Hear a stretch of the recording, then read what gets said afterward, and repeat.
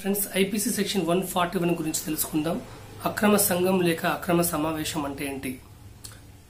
ముఖ్యంగా ఐదుగురు లేకపోతే అంతకంటే ఎక్కువ మంది ఒక సంఘంగా ఒక సమావేశంగా ఏర్పడి వాళ్ళు ఈ క్రింది ఐదు చర్యలకు పాల్పడితే కనుక వాళ్ళు అక్రమ సంఘంలోని సభ్యులుగా పేర్కొనబడతారు.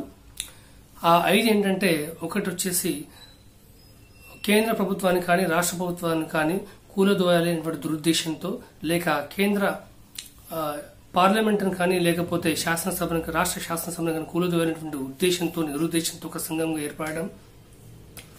రెండవది ఏంటంటే ఎప్పుడైనా ప్రభుత్వాలు ఒక చట్టాలు చేసినప్పుడు ఆ చట్టాలను అమలు చేసే విధానంలో ఆ శాసనాలను అమలు చేసే విధానంలో ఒక సంఘంగా ఏర్పడి వాటిని దురుద్దేశంతో కించపరచడం కానీ లేకపోతే అడ్డుకోవడం కానీ చేయడం.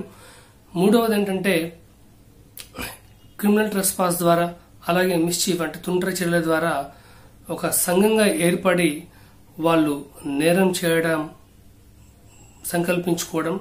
నాలుగోది ఏంటంటే క్రిమినల్ ఫోర్స్తోని బలవంతంగా ఒక వ్యక్తి నుంచి అంటే ఒక స్థిరాస్తి విషయంలో కావచ్చు లేకపోతే నీటి విషయంలో కావచ్చు లేకపోతే ఏదైనా ఒక దారి విషయంలో కావచ్చు ఒక సంఘంగా ఏర్పడి అంటే ఐదు కంటే ఎక్కువ మంది ఒక సమూహంగా ఏర్పడి ఇటువంటి క్రిమినల్ చర్యలకు పాల్పడడం.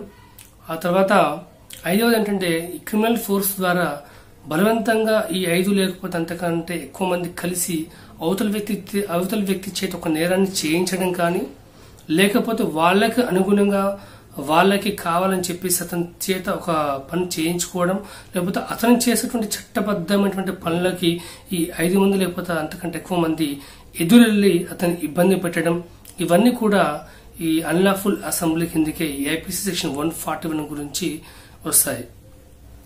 Thank you so much for watching my video. This is Ramesh Pitla LLB.